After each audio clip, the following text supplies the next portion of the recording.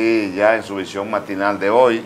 Hoy miércoles que contamos a 7 de septiembre de este 2022 y nosotros felices y contentos, llenos de gusto de compartir hoy esta mesa de conversaciones, nada más y nada menos con la esbelta, elegante, distinguida y bien puesta nuestra regidora, doña Estefany Martínez. Pero quítele el doña, José.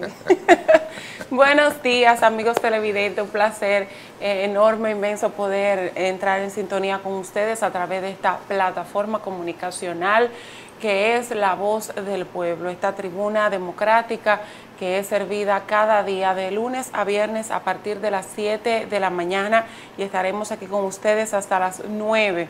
Así es que recordarles que usted tiene a su disposición los números de teléfono para entrar en contacto con nosotros y con toda la población expresando sus inquietudes, sus interrogantes o sus puntos de vista. Dicen eh, ¿Cómo amaneció hoy usted el clima? ¿Cómo lo siente? El clima está, está caliente, está húmedo, se siente ya. Son las 7 de la mañana y ya uno siente el calor.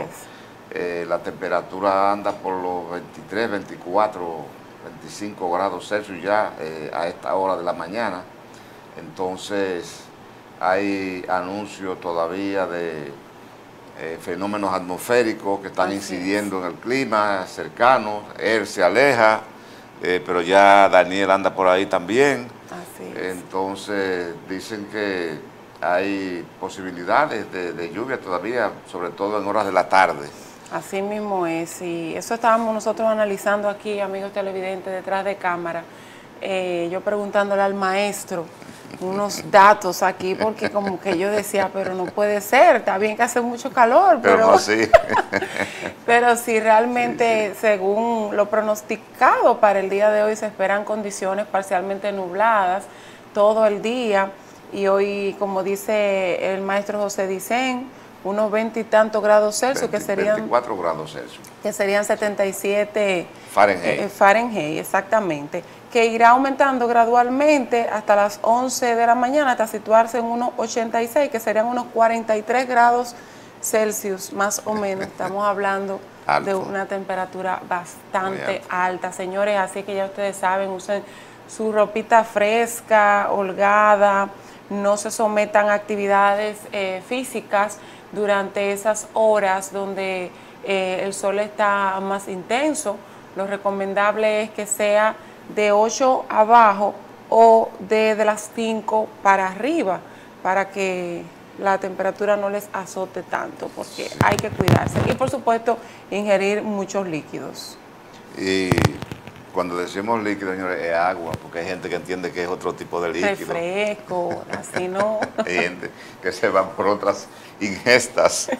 Otra cosa, sí. Ay, Dios mío, Padre. Entonces, agua, señores, agua, agua. Así eh, Que sea uno por lo menos sus cinco o seis botellitas de agua, ¿verdad? Sí, claro que, es lo común. Los médicos recomiendan ocho vasos de agua al día, eh, pero ya eso de vasos de agua, eso, casi no se ve. No. Eso nada más en la casa. Así es. Eso era antes cuando uno pasaba por una casa y le decía, doña, ¿usted me puede regalar un vaso de agua? Ya eso se perdió. No, ya eso pasó a la historia y uno se pegaba de una manguera que había en un jardín ahí también. Pero no, hace mucho ya que eso no se ve. Bastante tiempo. Donde las cosas, eh, bueno, siguen dando ruidos, siguen generando ruidos, es el Ministerio de Educación. Así es. Ahora con este tema que plantea eh, el gobierno desde la Dirección de Presupuesto y es la intención anunciada de reducir eh, en unos 4 mil millones eh, lo que resta de año el presupuesto de educación. Esto ha generado una serie de rechazos, sectores que se han pronunciado, que entienden que eso es incluso inconstitucional. El gobierno ha tratado de plantear sus razones de por qué apunta eh, hacia el Ministerio de Educación en reducir su eh, presupuesto de parte de lo que no se ha, de lo que no gastado, de lo que no se ha invertido, eh, que está presupuestado. Ayer, ayer con ese interés, el gobierno convocó a Palacio Presidencial a una serie de comunicadores, directores de medios, así como a representantes de instituciones que tienen que ver con la educación, como Inicia, Educa, eh, Ucamaima, eh, Fe y Alegría, a través de la, Iglesia Católica, a través de Fe y Alegría, y bueno, una reunión amplia en Palacio para explicar eh, el por qué el gobierno entiende que había que eh, reducirle esta cantidad al presupuesto de este año del el Ministerio de Educación, 4 mil millones. Eh, el gobierno dice que lo importante no es gastar el dinero, sino gastarlo bien, invertirlo bien, y que eh, por una serie de razones hay dineros que no se pudieron invertir, que no se pudieron gastar. Eh, algunos sectores plantearon ahí, bueno, pero ven acá, espérese, es que, por ejemplo, Fe y Alegría planteaba, pero nosotros tenemos cantidad de escuelas que necesitan eh, atención, reparación, eh, y así cada quien fue mostrando su, su interés en no estar de acuerdo, en no estar de acuerdo con, con, que se les reduzca eh, ese, esa cantidad de dinero al presupuesto de educación. Ya el presidente Luis Abinader, en algunas notas que hemos visto por ahí, eh, ha dicho y ha dicho el gobierno que no se va a tocar el presupuesto de educación, que no se le va a poner la mano. Lo que más ha llamado la atención de esas intenciones es eh, Stephanie, que por algún lado ha salido también que ese dinero que se, se le pensaba o se piensa o se pensaría reducir al presupuesto de educación de 4 mil millones, unos 1.800 millones irían a la cuenta presidencial. Y se ha establecido también que de ese dinero eh, hay un porcentaje importante que sería destinado a publicidad. Ahí es que está el mayor descontento de la población, la, la mayor cantidad de críticas que ha recibido el gobierno por este punto específico que usted, que usted ha tocado. Realmente, a pesar de que muchos funcionarios del gobierno, vimos el caso, por ejemplo, de Gloria Reyes en el día de ayer, que a través de sus redes sociales y otros medios de comunicación, estamos hablando de la directora del programa Supérate, salió en defensa de esta medida anunciada por el gobierno de esta reducción del presupuesto de, de lo que es considerado por la población como el resultado de una lucha de la sociedad, de una conquista de la sociedad que es el 4% del PIB a la educación una reducción, como, como usted decía, dicen, de más de, de 4 mil millones de pesos. Pero lo cierto es, señores, que las redes sociales se han copado de rechazo a esta medida anunciada por el gobierno, un gobierno que desde el inicio de su gestión ha prestado atención importante a, las voces que se externan a través de los medios de comunicación y no sabemos si por esto no que le ha dado para atrás como en otras ocasiones, pero sí ha anunciado que por lo pronto no va a ser tocado el presupuesto de la educación. Pero oiga, como dice, por lo pronto, o sea, mientras tanto, no lo está descartando. Entonces yo creo que la sociedad, los diferentes sectores, sobre todo aquellos que fueron protagonistas en esa lucha para lograr la conquista del 4% de la educación, tienen que estar bien atentos como toda la población, señores, porque ¿por qué la educación? ¿Por qué? O sea, para nadie es un secreto la crisis por la que está atravesando la República Dominicana en términos de inflación, pero ¿por qué tocar la educación? Cuando hay tantos puntos, tantos, tantos eh, sueldos exorbitantes que bien pudieran ser eh, reducidos esos beneficios que muchas veces reciben los funcionarios. ¿Por qué la educación? Y máxime, peor, ¿por qué una parte de esa reducción, cuando se supone que es para solventar o para sostener un poco la economía, dice que va a ser eh, destinada a publicidad, señores, eso, es algo fuerte. Pero ven acá, no, eso no puede ser. Pero qué eh. bueno que tenemos una sociedad empoderada. Sí. Ya tenemos las redes sociales, no tenemos que esperar, ¿verdad?, que los medios salgan a cubrir, sino que la gente tiene la oportunidad de expresarse libremente. Así mismo es. Eh, bueno, por lo menos, y es importante ya lo que se ha anunciado eh, con relación al presidente de la República y algunos otros sectores del gobierno de que eh, a partir del rechazo que ha tenido esta propuesta de reducirle en 4 mil millones al presupuesto de educación, eh, que no se va a tocar, que no se le va a poner la mano. hay otro dato por ahí que daba cuenta de que si se le permite esta reducción eh, este año al gobierno, en los dos años que lleva, ya le habría aplicado una reducción de 10 mil millones a educación, lo que indica que el año pasado, parece que esto pasó inadvertido, no, no, no, no se anunció, no se dijo, pero que el año pasado se le redujeron alrededor de 5 eh, mil millones. Y que si se aceptan entonces los 4 mil y pico de ahora, entonces eh, en dos años ya este gobierno habría reducido 10 mil millones le, habría descontado el presupuesto de educación para destinarlo a capítulos de otras instituciones. Sin embargo, nosotros vemos cómo eh, existen escuelas que aún estando en más de un 80, 90% de construcción, no han sido terminadas porque el gobierno ha evidenciado que no es una de sus prioridades eh, el tema de la conclusión, de la construcción de planteles educativos. Eh, vimos recientemente, por ejemplo, me parece que el lunes pasado, el exministro eh, dicen de Educación, Carlos Amarante Baret, haciéndole un llamado precisamente a este ministerio a que por favor le dé conclusión a esos planteles que ya se encuentran en más de un 90%.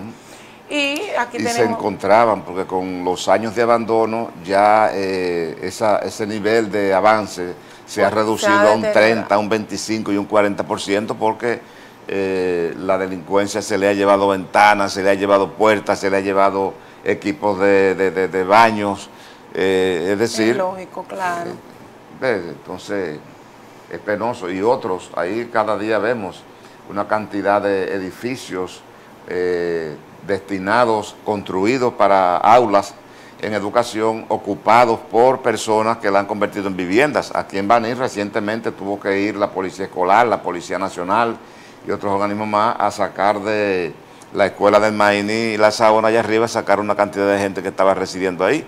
Pero bien la capital, ayer también, eh, antier, sacaron también una cantidad de personas que estaban ocupando otra escuela y otra donde se daba cuenta que la, la tenían tomada como residencia eh, particulares. Entonces, a este tipo de cosas hay que darle atención porque para nadie es un secreto que este país va creciendo exponencialmente.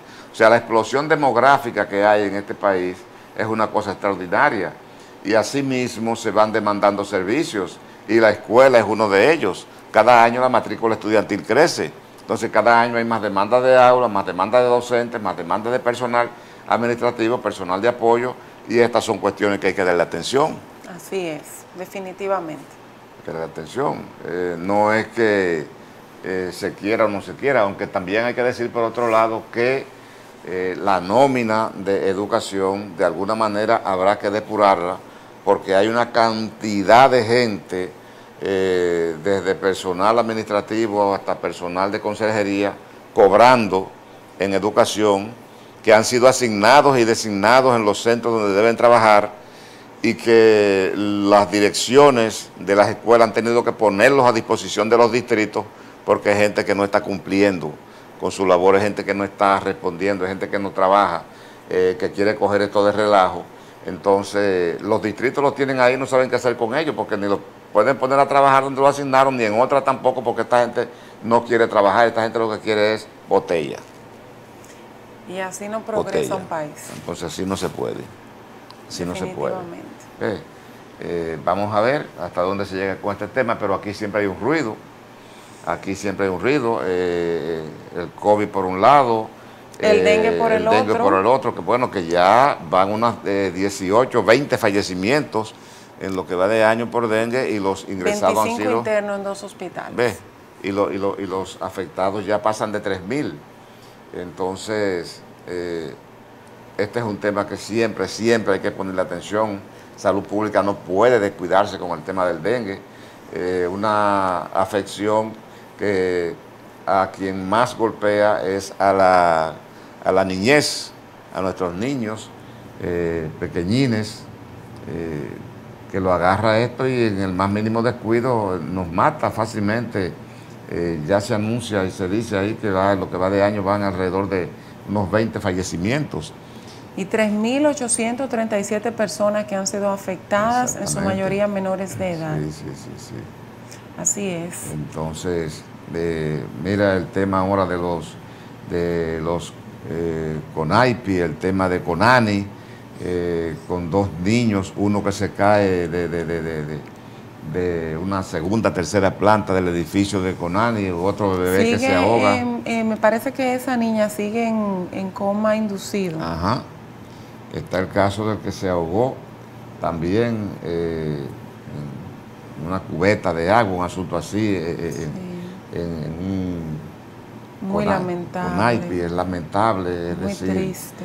Eh, hay que ponerle más atención a estos temas. Aquí la niñez siempre ha estado muy desvalida, hasta en los propios hogares la niñez es desvalida. Aquí vemos cómo, bueno, aquí tenemos el caso de una bebé que se ahogó prácticamente al lado de su madre.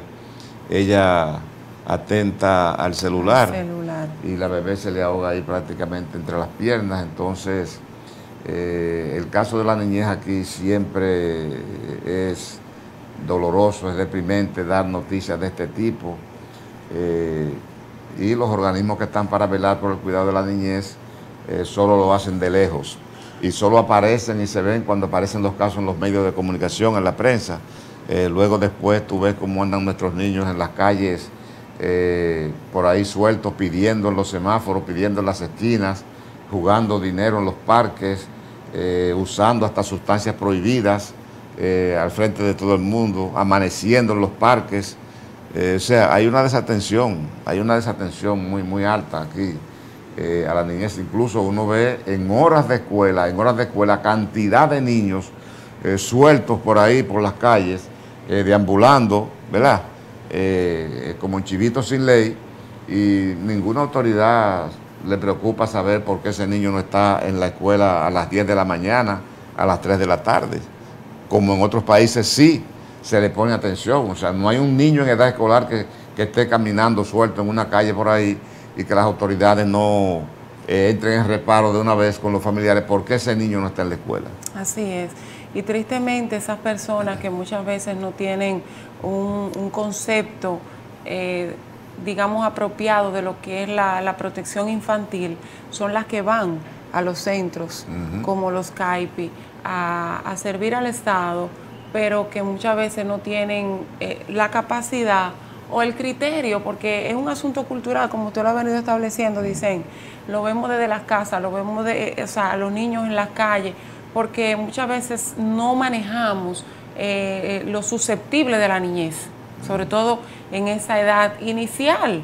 Eh, entonces vemos, vimos muchas declaraciones de funcionarios actuales y exfuncionarios haciéndole un llamado al gobierno a no descuidar esto, dicen, a hacer una un profundo análisis, porque si bien es cierto que el, el CAIPI, el INAIPI como tal, ha venido acumulando quejas desde el 2015, según un reporte recientemente publicado, eh, no menos cierto es que nunca se había suscitado o nunca se habían suscitado eh, hechos donde ya muertes, muertes, fallecimientos.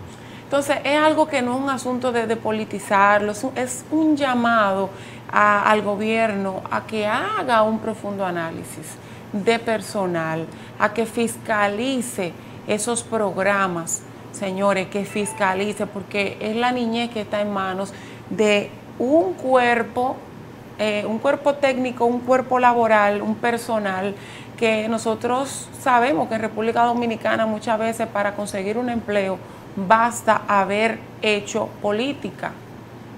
Entonces ahí es que está, ahí es que radican muchas de las debilidades institucionales. Yo formé un comité de base, yo me fui a un par de caravanas, ya yo me merezco un puesto. Señores, y hay puestos que son delicados que dónde está la capacidad de la persona. Entonces, ese es el llamado que se le hace al gobierno, a revisar, a fiscalizar, para que este tipo de hechos no se vuelva a suscitar, porque de verdad que es muy, muy lamentable y muy triste, sin ánimo de politizar, porque no estamos de acuerdo en que el dolor de una madre, el dolor de una familia se utilice, señores, para hacer política. Eso no. No. Ahí no debe de caer ninguna eh, autoridad, ningún candidato, no debe de caer ahí. Se debe de respetar, señores. Nadie quisiera estar en el zapato de esa madre que hoy llora la pérdida de un niño de apenas un año y ocho meses. Un año y ocho meses. Entonces, esto es lo que debe de llamar esa reflexión al gobierno, revisar este programa, revisar qué está pasando. Son dos casos, ¿eh? dos casos graves. Uno de ahí, uno eh, con semanas de diferencia. Prácticamente Semanas de diferencia uno de otro en dos instituciones que se han ganado el respeto de la ciudadanía dominicana del país por eh, la forma en que venían dándole atención y acogiendo a la niñez dominicana. El CONANI desde hace mucho tiempo es una institución que tiene un respeto ganado y, que, trabaja con, la niñez desvalida. Y eh, los INAIPI, CONAIPIS, eh, instituciones nuevas, recientes, pero que desde ya eh, se habían ganado y se vienen ganando también la, la, confianza de las familias, ¿no? que llevan los niños allí mientras los padres están en jornadas de trabajo.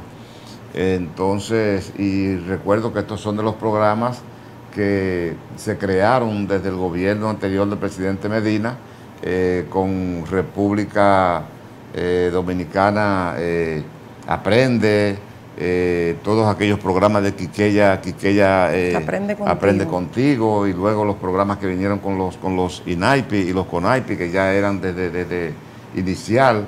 Es decir, que hay que darle la debida atención y el cuidado y poner el personal, el personal eh, que se empodere, el personal adecuado. No todo el mundo tiene el perfil para trabajar en cualquier lugar. Cada tipo de empresa, cada tipo de institución, cada tipo de trabajo, de función, demanda un perfil de la persona que va a laborar ahí, para que las cosas se hagan conforme los protocolos, conforme los estándares conforme las líneas de trabajo de esa entidad. Eh, y bueno, eh, eh, esto es un asunto que son dos instituciones que no pueden perder la confianza del país y de la familia dominicana, no, pueden perderla. Así mismo un caso de esta naturaleza sucede en cualquier lugar, en cualquier institución. Tampoco le vamos a cargar el dado, ¿verdad? Porque fijémonos, por ejemplo, como en una escuela eh, norteamericana, donde hay toda la seguridad del mundo, eh, aparece un loco que mata 15 eh, o 20 personas en una escuela pública. Y, entonces, esto, este tipo de sucesos se pueden dar en cualquier lugar, pero lo que no se pueden es dar por descuido y, con una frecuencia que alarme a la población, porque estos dos casos, como decimos, eh, se han dado en semanas. Así es. En semanas. Así es. En otro orden, José, hoy se destaca el problema, se vuelve a destacar el problema de la salud mental, pero es momento de una pausa comercial y les invito, amigos televidentes y maestro José Dicen, a que podamos eh, hablar brevemente sobre ese tema que parece que es el tema de nunca acabar. Así es. Ya regresamos.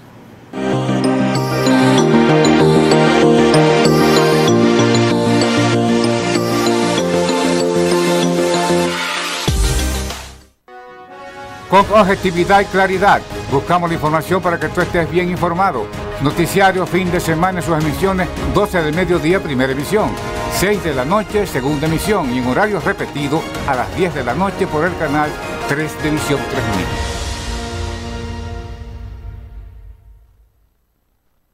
3000. El COVID-19 llegó para cambiarnos la vida, ha puesto en evidencia nuestra vulnerabilidad y nos ha mostrado lo realmente importante. Valores primordiales por los que debemos luchar, pero sobre todo cuidarnos. La familia es uno de esos valores que debemos priorizar. Pero ¿y la vida misma? ¿Acaso carece de valor? El COVID vino para recordarlo pero sigue aquí, no se ha marchado. Y ahora con nuevas mutaciones que siguen atentando contra la existencia de nosotros mismos y de aquellos que representan nuestro mayor regalo. Volvamos a las medidas, retome el uso de la mascarilla, evita las aglomeraciones y no olvides la higienización como eje fundamental. Cuídate y cuida a los tuyos. Por favor, tomemos conciencia. Si aún no lo has hecho, estás a tiempo todavía. Vacúnate. Este es un mensaje del grupo de comunicaciones Ortiz Ruiz. Vea todos los miércoles a las 9 de la noche su programa Tiempo de Cambio por el canal 8 de Peravia Visión y por el canal 10 de Intercable. También a través de la página web peraviavision.tv. Una producción del periodista Juan Martínez. Le esperamos.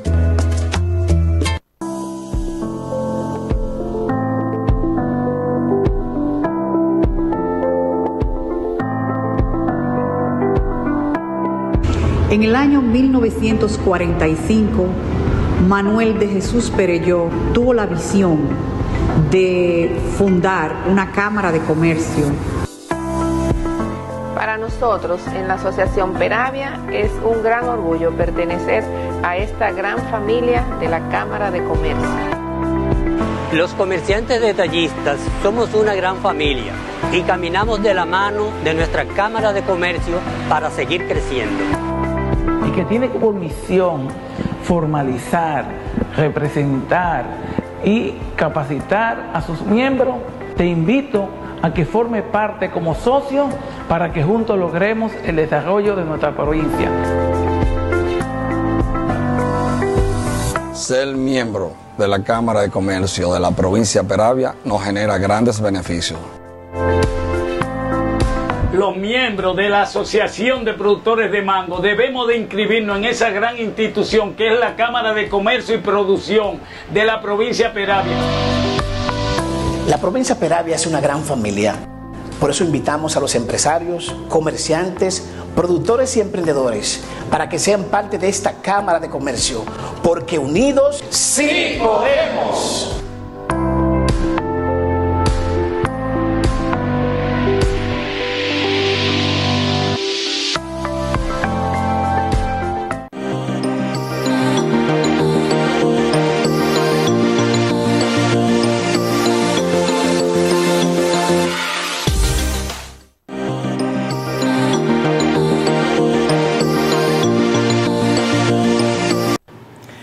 De regreso, amigos televidentes, y un tema que dejamos en carpeta, el tema de la salud mental. Hoy eh, los diarios de circulación nacional se hacen eco específicamente de la ciudad de Santiago, donde se resalta allí que el problema, eh, o más bien la unidad de intervención en crisis de allá de esa ciudad, no da abasto para atender la cantidad de pacientes con problemas psiquiátricos que diariamente acuden para tratarse. Esa es la información que resaltan hoy los medios en lo que tiene que ver con Santiago. Y mi pregunta es, ¿y en el resto de las provincias? ¿Cuál será el panorama? Es la misma situación, o sea, los que tenemos la oportunidad de viajar a otras provincias, otras localidades, nos damos cuenta cómo uno se encuentra, sobre todo en los semáforos de cada una de estas ciudades, en la entrada y la salida, en el centro de la ciudad, con esta cantidad de personas, eh, con ese déficit eh, de salud mental eh, que, duele. Duele porque uno los ve adheridos a un zafacón de basura, tirado en una cuneta, durmiendo en un cartón, o, o, muchos tirados incluso en la intemperie eh, en el suelo. O sea, es, dolorosa la situación, de verdad que sí. Tenemos una llamadita en el aire, vamos a recibirla. Buenos días, adelante.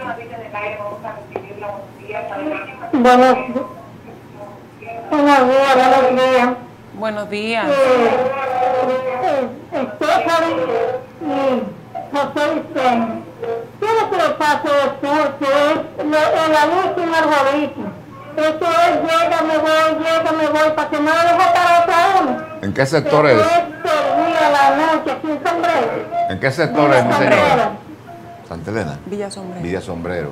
Villa Sombrero. Ya, ya. Eso es la cabeza, eso es, tenemos un par de para que no lo deje para ti, ¿sabes? Y eso que ustedes dicen sobre la deben de aplicarle toda la ley a las más sin vergüenza porque en vez de pasar las casas a los niños por, por las noches estar chapeando, dejar a los niños solos y no cuidar. Deben de pegar toda la ley del mundo que hay.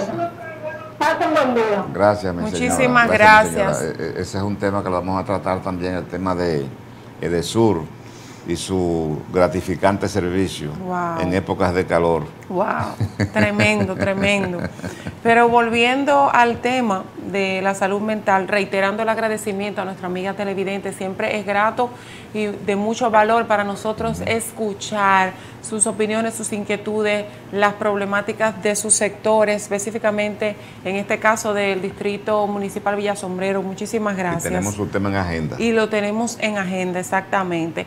Para retomar el tema de la salud mental, eh, señores, la situación no es exclusiva de Santiago, la situación es a nivel nacional y se incrementó en el momento en el que fue erradicado el hospital, el hospital psiquiátrico Padre Villini, que si bien es cierto, no era que resolvía o atendía completamente la demanda, pero era un alivio para muchas familias. Sin embargo, a partir de ahí que se crearon las subunidades de intervención, ¿verdad?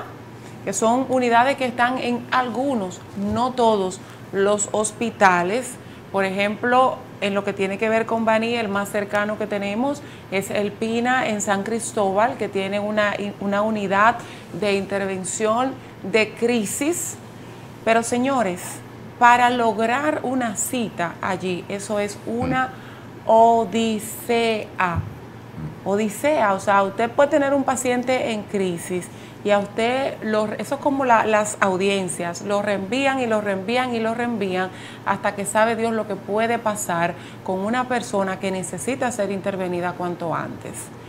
Entonces, ya lo hemos dicho, inmensa cantidad de veces, ha sido la voz cantante de Comunicaciones Ortiz Ruiz, necesitamos que desde el Estado se priorice el tema de la salud mental, que se cumpla con lo que dice la Constitución, que toda persona tiene derecho a la salud. Y cuando decimos toda persona, estamos hablando de incluso aquellos que hoy son víctimas de una afección psiquiátrica. Entonces, eso no es exclusivo, eso es colectivo. Todo ser humano, toda persona necesita y merece atención a la salud, pero la ley 42-01, Ley General de Salud, también lo establece. Entonces, nunca vamos a entender por qué este tipo de personas simple y llanamente no se le presta atención. Pero tampoco desde el Congreso, desde el Senado, señores, vemos a estos eh, honorables funcionarios legislar a favor de una mayor inclusión en términos de salud para los pacientes psiquiátricos. No hay programas, no hay programas tendentes a ofrecer eh, salud, pero hay veces que el paciente psiquiátrico, no tanto la salud, dicen, es excluyente de vivienda, porque terminan... No hay albergue, eh, no hay albergue. no hay albergues, alimentación, o sea, un techo digno, todos estos ejes que están contenidos en la Constitución. Entonces, no pueden estar ahí solamente para figurar en un papel, sino que se le tiene que dar cumplimiento. Y siempre estaremos, señores, abogando por estas personas que no tienen voz y que sus familiares lucen impotentes, impotentes. Hay que tener un familiar dentro de casa con una patología psiquiátrica para saber lo que es eso, para conocer de la impotencia que se siente cuando, cuando uno luce desprotegido, sin apoyo. Tenemos una llamadita nuevamente. Buenos días, adelante. Sí, buenos días. Buenos días. Sí, buen día. Buenos días. Adelante. Adelante. Ya que ustedes están hablando de la salud mental, en Eda de Trujillo hay un sitio en la capital que llamaban el 28. Padre Villini. Que todo el que tuviera salud mental lo llevaban a ese sitio, ahí lo ingresaban ahí. Y había muchos que se recuperaban, otros no. Pero es que últimamente las autoridades se han olvidado de las clases de más abajo. Porque cuando es una persona que tiene dinero, pues la familia lo recoge, lo, lo, lleva a un sitio o busca la forma de resolver los problemas. Pero la gente que anda ambulando en la calle, que tiene cosas mental, no pueden comprar ni siquiera una batería, ni pueden hacer nada. Entonces, debe de haber una institución que se encargue de recoger todas esas personas y llevarlas a un sitio. Aquí, la gente de aquí se sobra dinero para la cosa. Actualmente, vamos a un caso, todo el que ha robado dinero, ese dinero debe ser encautado y preparar esa, ese tipo de, de, de, de hospital, de albergue, para recoger toda esa gente que anda por la calle. Usted sabe las personas que andan aquí deambulando en la calle con salud mental. Y nada, las autoridades no se meten en eso, se meten en eso, que sigan el otro del tiempo.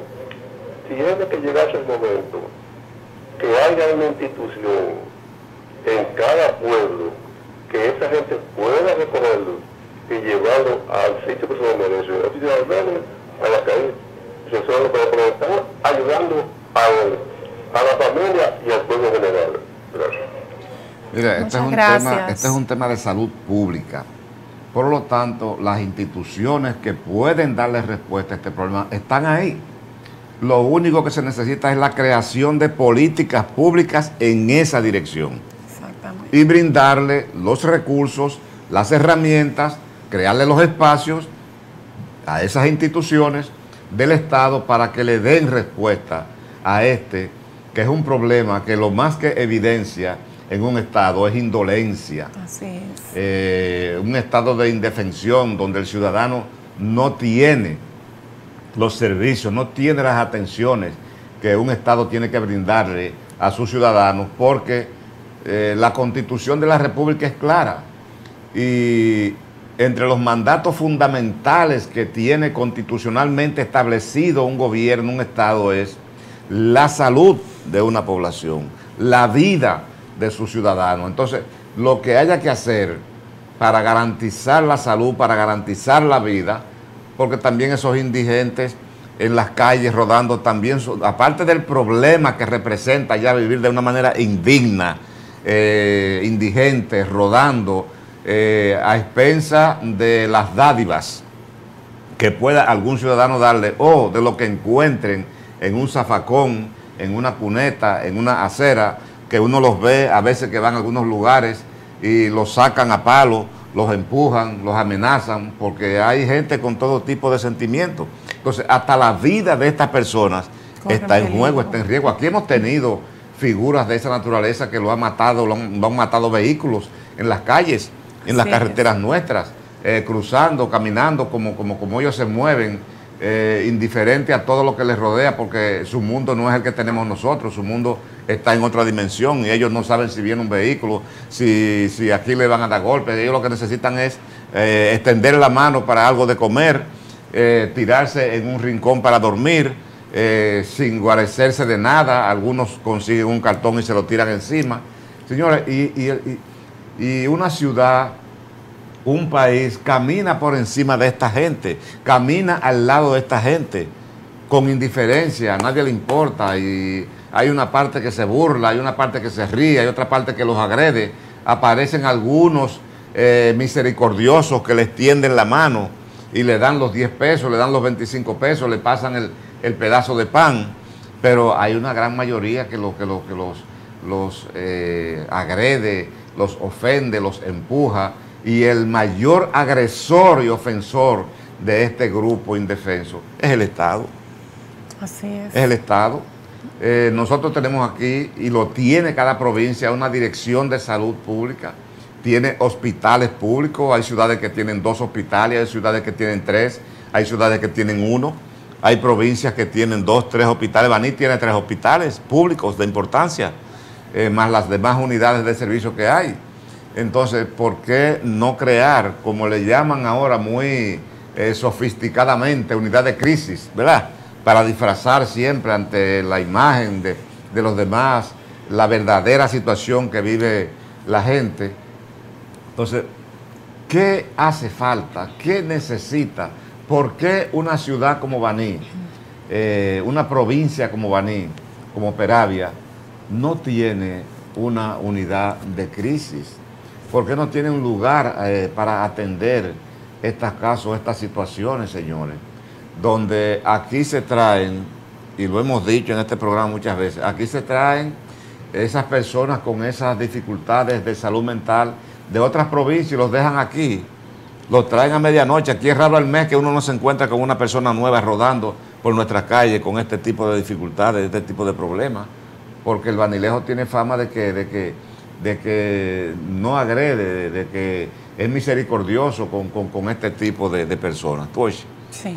Pero eh, Listín Diario tiene una campaña muy amplia, hace ya un par de años, dos o tres años, quizás más, eh, que se han hecho, incluso tenemos hasta un periodista que para vivir y narrar esa realidad en una serie de trabajos que se presentaron en el Listín Diario, más de 15 o 20 trabajos, eh, se convirtió prácticamente en un indigente y se fue a convivir con ellos, se fue a vivir de la misma manera que ellos viven, eh, la, la misma ropa, la misma tipo de comida, o sea, vivió ese, ese mundo y lo narró en una serie de reportajes que luego se convirtió en un libro eh, extraordinario, este trabajo, y no se ha quedado ahí, ha seguido dándole eh, el seguimiento del lugar a este tema listín y ha vuelto con otra serie de trabajos, eh, primero en la ciudad capital, ahora en Santiago, y se va a seguir haciendo provincia por provincia.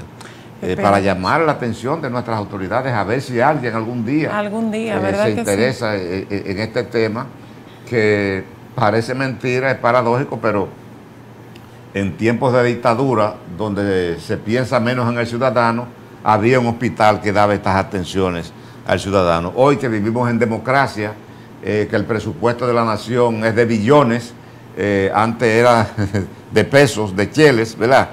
y se daban estas atenciones y hoy no, no, se, no se ofrecen, no se brindan.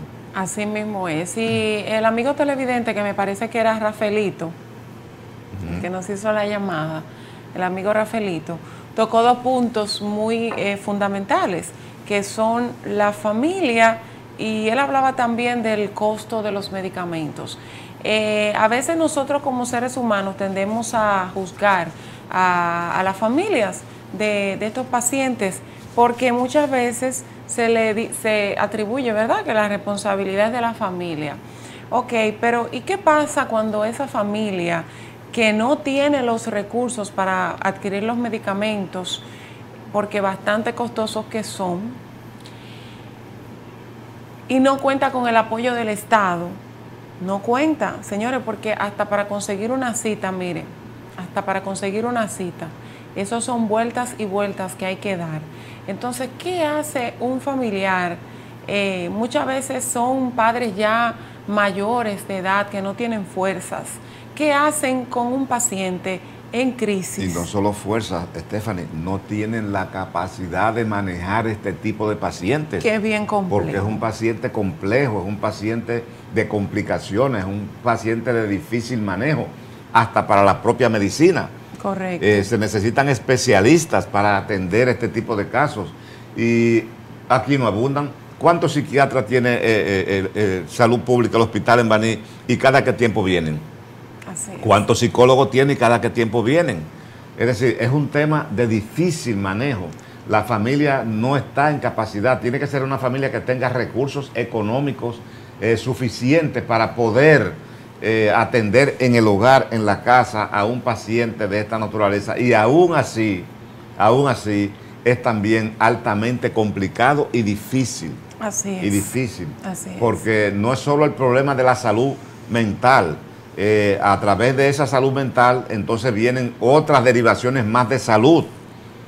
De salud, porque, dígame usted, eh, el tipo de alimentación, el cuidado en la higiene, eh, cuidar a ese mismo paciente de que no se eh, agreda al mismo, de que no se ponga en peligro. Es decir, no, es, no es, nada fácil, es complicado. ¿Y quién es que tiene que tener los instrumentos, las herramientas, los recursos eh, humanos, materiales de todo tipo? Es el Estado. Porque nosotros como ciudadanos, para eso es que trabajamos y para eso es que tributamos. Correcto. O sea, un 40, 45 y hasta 50% de lo que uno genera como, como, como, como, como, como, como eh, ciudadano eh, que labora, que trabaja, eh, de, nuestro, de cada peso que nos ganamos, se va un 40, un 50% en los distintos impuestos que uno paga para que el Estado opere.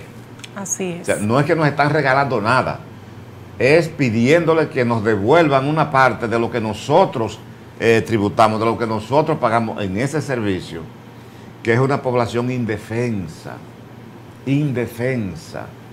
Eh, por un lado, no tienen familiares, porque los familiares de esos que están por ahí es que no pueden, es que no saben, es que no tienen las herramientas, no, hay manera de cómo ellos manejar eso. No hay forma, claro. No hay forma.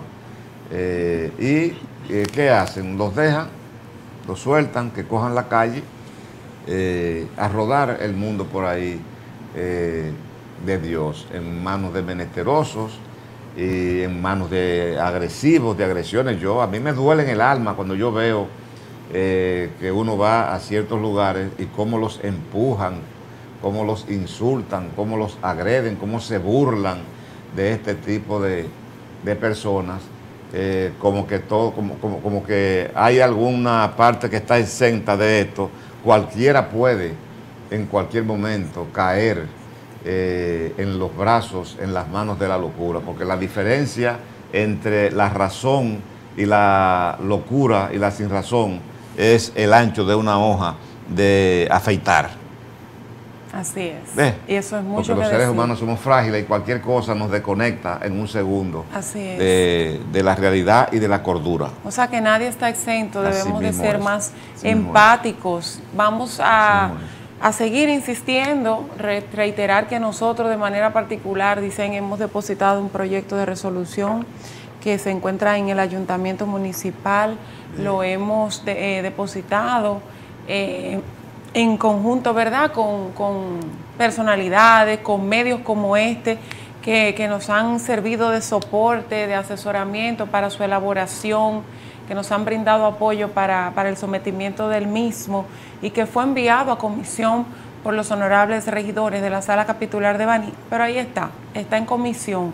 Y es un proyecto que incluye diferentes ejes que van desde la prevención hasta la identificación a tiempo con el enfrentamiento de lo que es el estigma, eh, José dicen, porque es un asunto multidisciplinario que yo entiendo que cada pueblo, cada provincia, en lugar de sentarse, de cruzarse de brazos, debe encaminar algún tipo de iniciativa.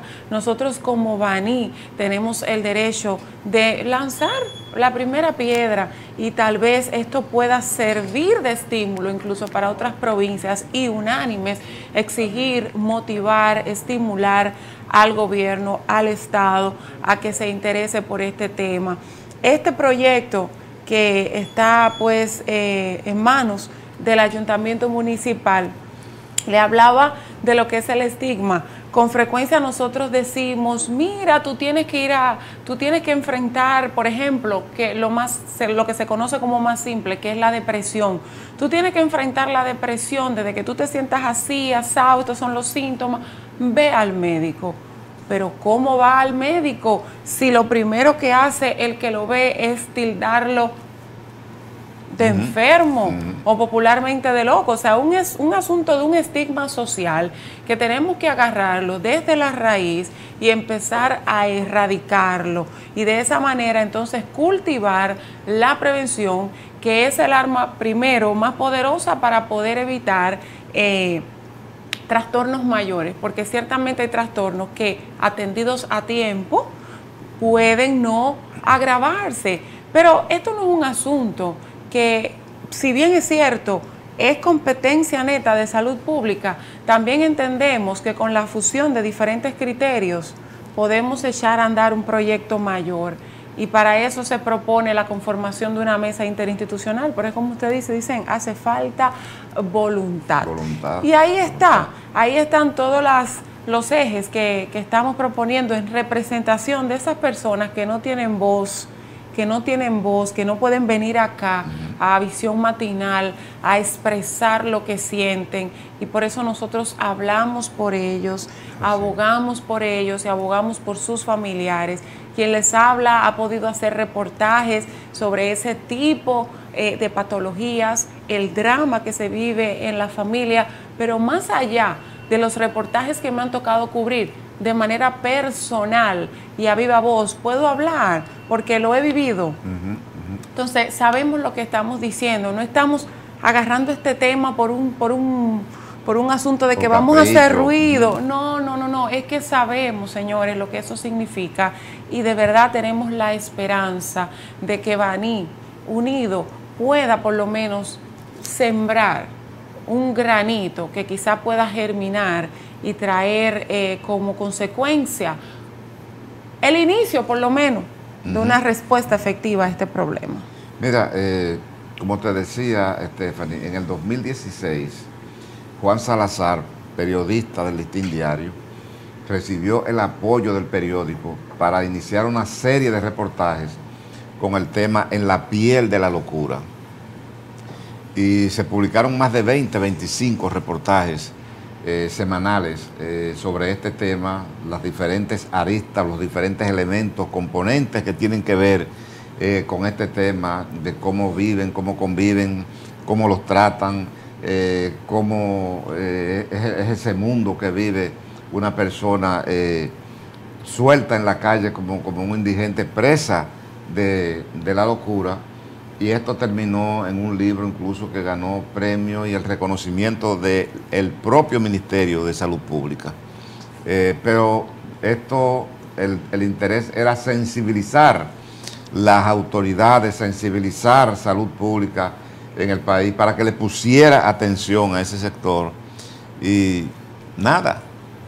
Todo se quedó en reconocimiento. O sea, en reconocimiento y la indiferencia a los que están enfermos, la indiferencia a los que están afectados eh, de este terrible mal que es un drama, es un drama, de verdad que sí. Eh, y si hay una gente indefensa en la vida, es el que está sometido a este tipo de padecimiento. Así es. Indefensa hasta lo más último porque no tiene albergue, no tiene centros de salud que los atiendan, no tiene los médicos que le den las atenciones porque el Estado no tiene políticas hacia ese lado no tiene políticas públicas hacia ese lado. Y esto, esto es doloroso.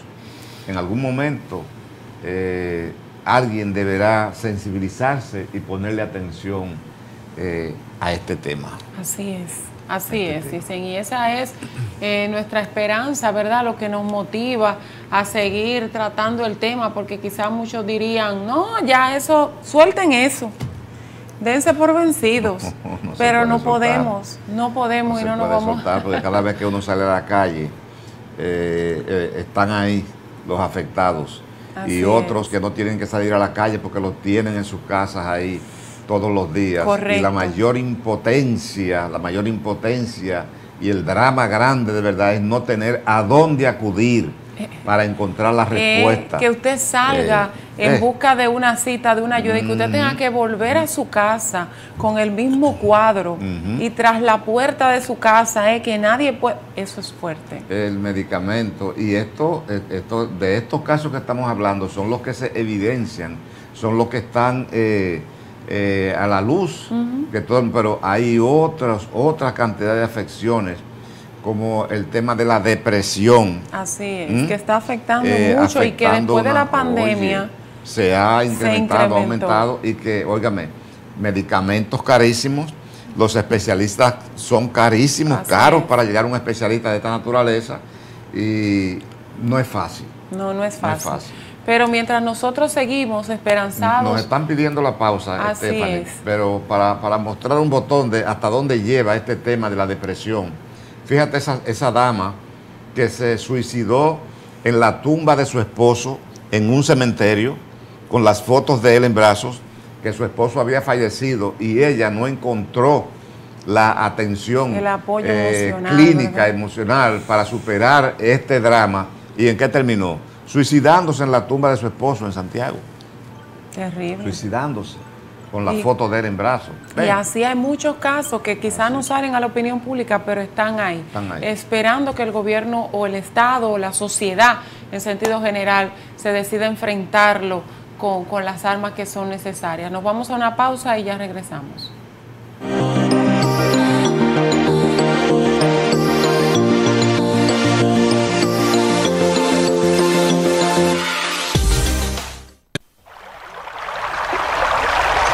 Fundación Monte Bonito, la gran esperanza peraviana y más allá.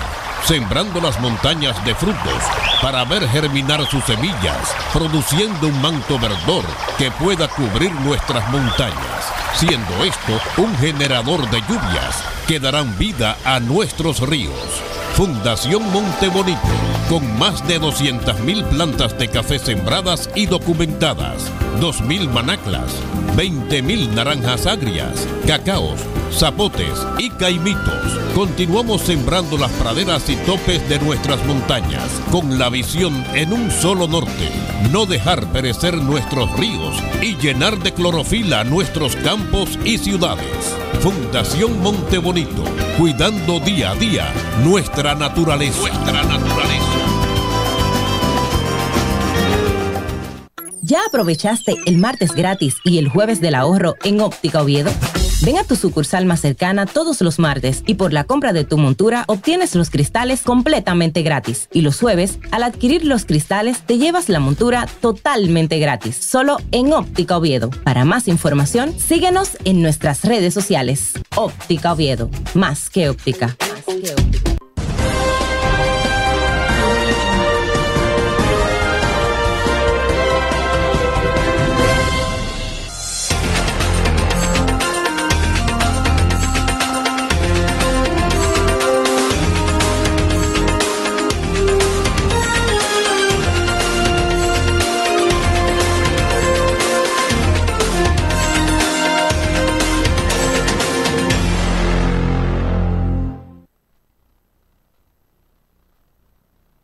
Aquí en Visión Matinal, nosotros no tenemos compromisos individuales con nadie. Nuestro compromiso es con el pueblo. Lo que queremos es la calle, Marina del primer Picasso. Que nos están diciendo que nos van a echar a la calle. Con la verdad, objetividad y sobre todo la imparcialidad. Que nuestros regidores entiendan que ellos fueron colocados por el pueblo para defender los mejores intereses de Baní y no para actuar en contra. Porque nosotros somos la voz del pueblo.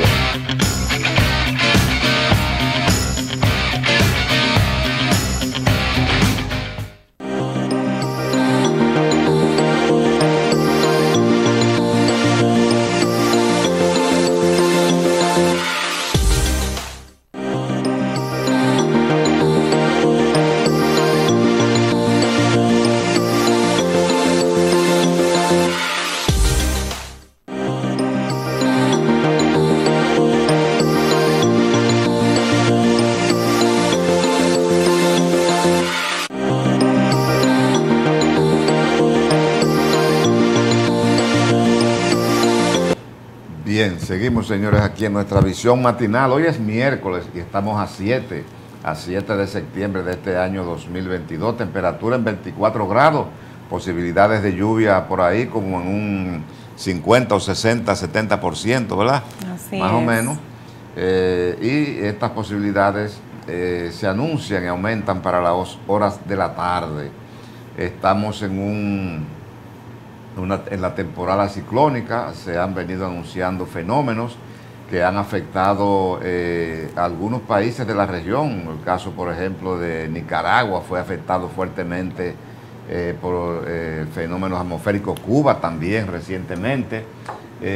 Aquí se han anunciado la posibilidad de acercamiento de algunas tormentas, algunas vaguadas, con posibilidades incluso de convertirse en ciclón, pero la mano del Señor ha obrado y estos pájaros se han desviado. Nos han dejado sí eh, lluvia suficiente, por- sobre todo en la zona este y norte del país, pero los que estamos aquí en el sur, los que estamos en el sur, las lluvias han sido eh, escasas, moderadas, pero han venido. Ah, Sí. Hace un par de días tuvimos unas lluvias muy buenas una noche entera lloviendo con relámpagos y truenos.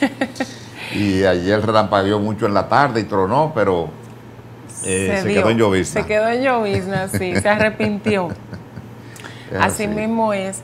Bueno, y tenemos una información, dicen, del Banco Central, que informa, ya cambiando un poquito drásticamente de tema, que la inflación cede a 5.70% entre enero y agosto. ¿Qué le parece? Bueno, hay que ver dónde es que Valdés Albizu compra ¿verdad? sus alimentos, sus medicamentos, eh, los niños de él, a qué colegios que van, porque lo que nosotros tuvimos que invertir para comprar los útiles escolares de un niño de segundo de básica, segundo de básica, eh, supera los 10 mil pesos. Eh, y hay padres que estamos hablando de 15 y 20 mil pesos. Y para un niño de escuela pública los padres están invirtiendo 3, 4, 5 y 6 mil pesos en uniformes y en útiles escolares. Una mochilita cualquiera vale 2 mil pesos. Entonces, yo no sé dónde es que el señor Valdés Albizu eh, está comprando las cosas de su hogar, o si es que lo compra otra gente, o si es que se lo, no sé por qué día le llegará. Contrastan mucho sus declaraciones, porque fíjese lo que dice, que el índice de precios al consumidor en agosto fue de 0.21% con respecto a julio de 2022. La menor inflación mensual de los últimos 27 meses, situándose la inflación acumulada de enero a agosto de 2022 en 5.70%. La inflación interanual, medida desde agosto de 2021 a agosto de 2022, dice que disminuyó en 0.84 puntos porcentuales con respecto al pico de 9.64 del pasado abril, colocándose en 8.80% en agosto, manteniendo una trayectoria descendente en los últimos cuatro meses. Esta tendencia a la baja de la inflación, dice la entidad monetaria, refleja la efectividad que han tenido las medidas adoptadas por el Banco Central y los subsidios implementados por el gobierno a los combustibles y a la tarifa eléctrica, así como las iniciativas para bajar los costos de producción en la agropecuaria. Que me diga un ciudadano que le haya reducido la tarifa eléctrica en su hogar. Que tenemos ese tema pendiente. Que me diga un ciudadano si cuando fue a comprar el último galón de aceite para su casa, ahora, en el mes de agosto que recién finalizó, ¿verdad? Que la gente se compra a fin de mes. Eh, si encontró que los huevos bajaron, que el bacalao bajó, que el arenque bajó, que el aceite bajó, que el azúcar bajó, que algún producto lo encontró aunque sea con cinco pesos menos algún ciudadano que nos llame y nos diga, ¿verdad? Y nosotros vamos a decir, bueno, pues mira, estamos equivocados, es verdad, se ha reducido la inflación en lo que establece el, presidente del Banco Central, porque nosotros de verdad que no, hemos visto esa reducción eh, en la inflación eh, de la economía como, como establecen las autoridades actuales. Eh, no se siente en el bolsillo de uno eso, lo que se siente es otra cosa. Cuando voy a echar combustible al vehículo, eh, yo no sé desde cuánto hace que los precios están congelados, eh, a pesar de que ya el barril de petróleo está por debajo de los 90 dólares. Así es. Y a pesar de que la prima del dólar está rondando el 50%. bueno, quizás a eso es que se refiere Valdés Albizu eh, en reducciones en el costo del barril de petróleo y el costo de, de ¿qué más? La reducción de la, de la, tasa del dólar. Eh, ahí sí, pero eso a quien beneficia es al gobierno, a quien beneficia es el Estado, que debió haberse reflejado hace rato eh, en los precios de los artículos que uno eh, consume, si nos vamos a la industria de la construcción, háblate con un ingeniero, con un maestro constructor, con un arquitecto para que usted vea que es con las manos en la cabeza. Y, a los que nos toca ir a una farmacia, Dios mío, a comprar un medicamento. Entonces, hay anuncios que molestan. Hay anuncios que molestan, porque es como que quieren coger a uno de... ¿Ustedes entienden de eso? De esa cuestión. Entonces, eh, llenando de anuncios los medios de comunicación, resolviendo todos los problemas del país ahí, ya se entiende que con eso la población está anestesiada. Y no es así. O sea, por más anuncios que usted ponga en la televisión, en los periódicos, Hay una en realidad la que radio, no cada vez que usted tiene que meterse la mano en el bolsillo para comprar un producto, ahí es que se evidencia Así es.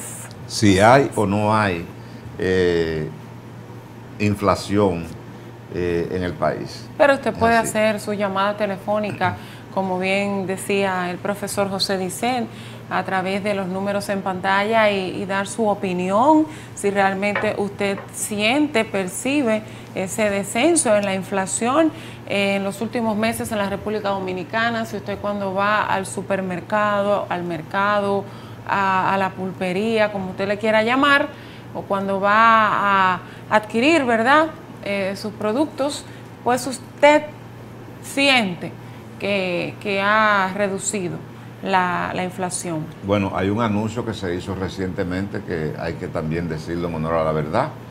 El sindicato de transporte de, de Guaguas hacia Santo Domingo, a Somiva Sí, sí. y Siuchocomiva, eh, anunciaron una reducción en el pasaje de 15 pesos para los estudiantes universitarios, para los médicos, policías, eh, enfermeras y otros sectores más que viajan con frecuencia y que son profesionales eh, que dan un servicio especial. Una excelente medida por parte de esta entidad. Y yo creo que fue una buena medida, una buena disposición, porque además hacía tiempo que ellos estaban ganándose los chelitos de el aumento que le hicieron al pasaje con el tema del COVID, cuando nada más podían llevar eh, el 50 o el 60% de los pasajeros por el tema del distanciamiento y eso, ¿verdad?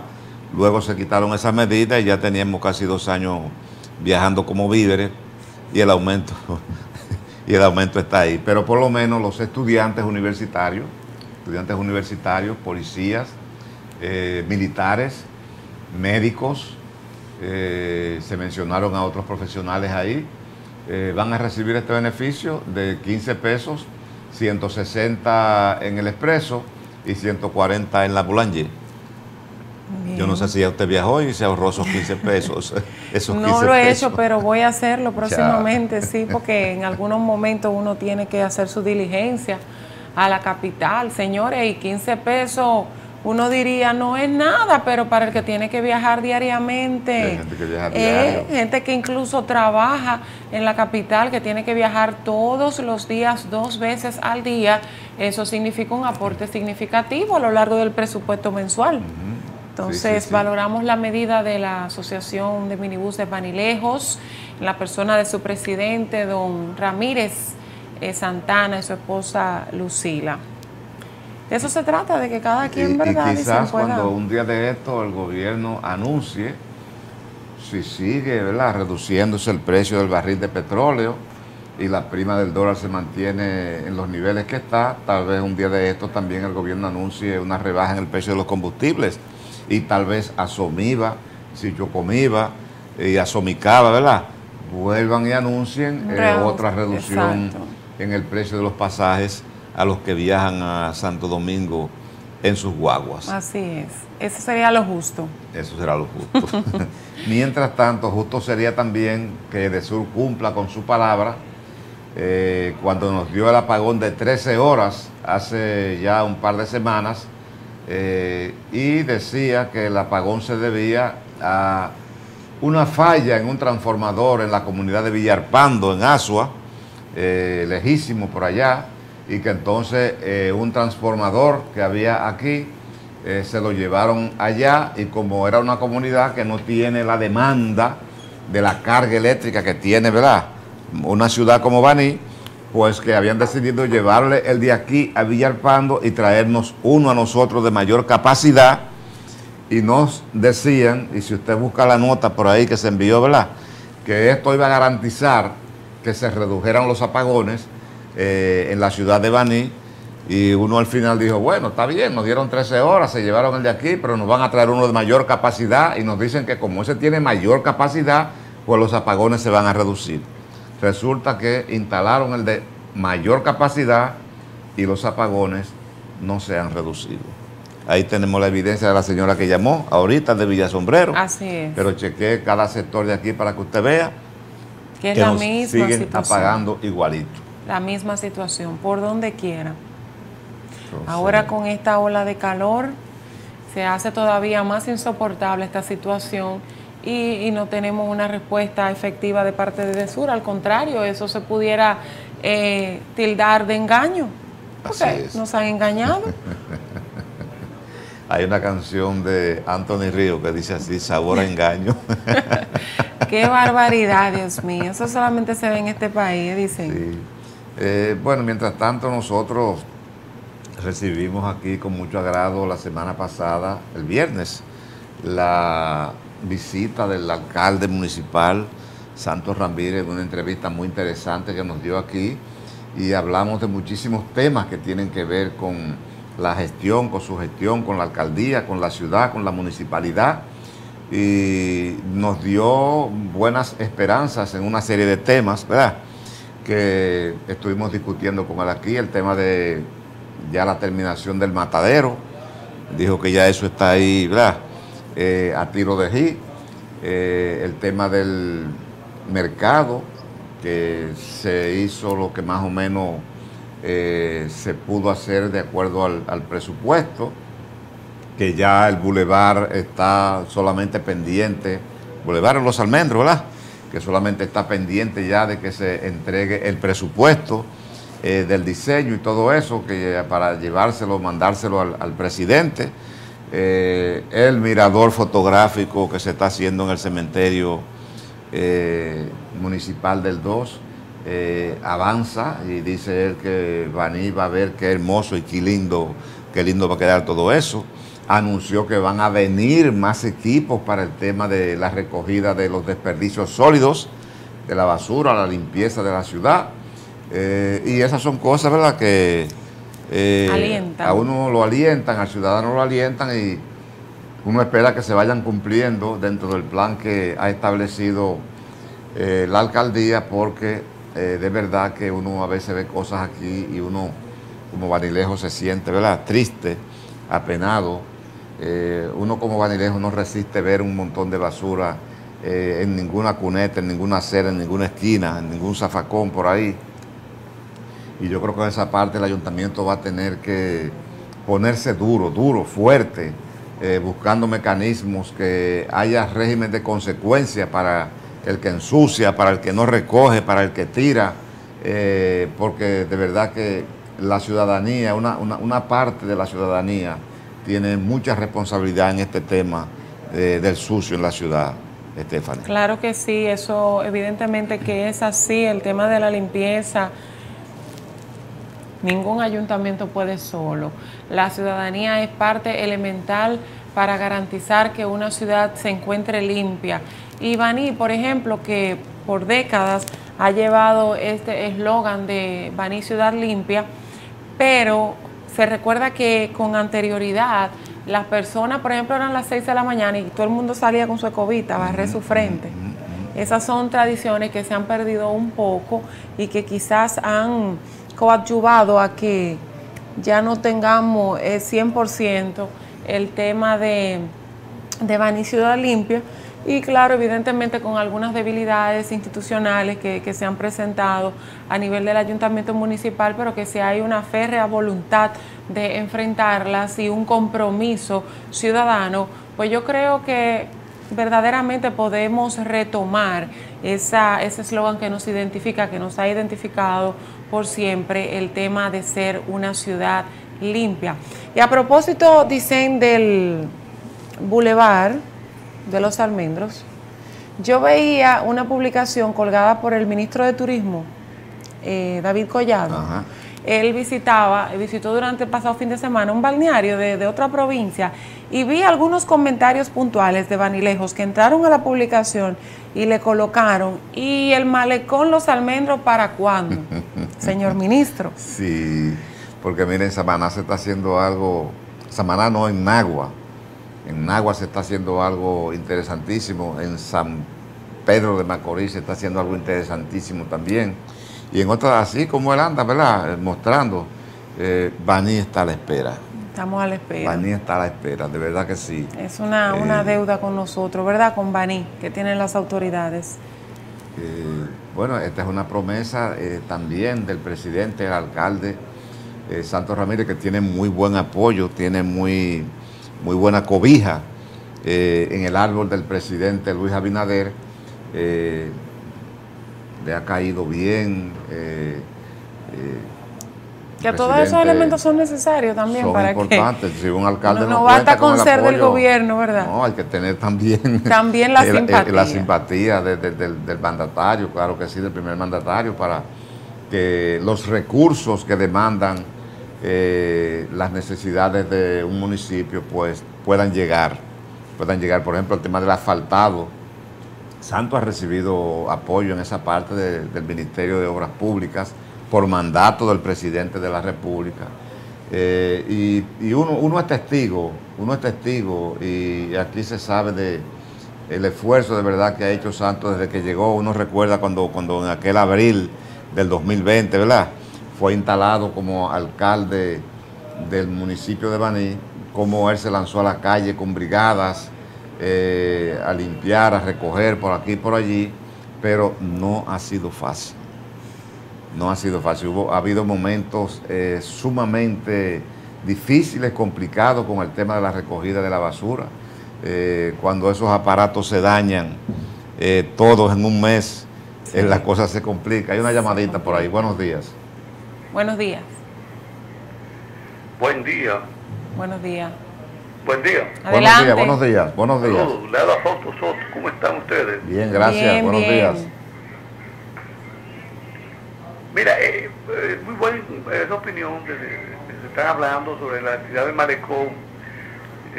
Yo conversé con Santos Ramírez precisamente el lunes y me dijo, me informó sobre ese particular que el malecón ya de, de ya está diseñado, ¿eh?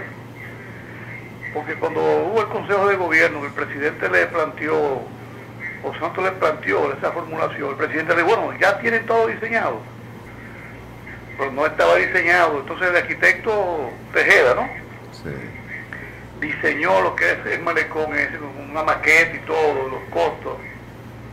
Y ya para el próximo año ya va a estar incluido el Baní en lo que es ese, esa área de rescate y recreación de la familia Banileja en lo que tiene que ver con ese malecón. Los recursos no están todavía, eh, porque no está diseñado, entonces no tiene que un proceso de, de- de- licitación y, y de, como dice, dicen, eh, de aportar los recursos económicos necesarios para que eso se pueda realizar.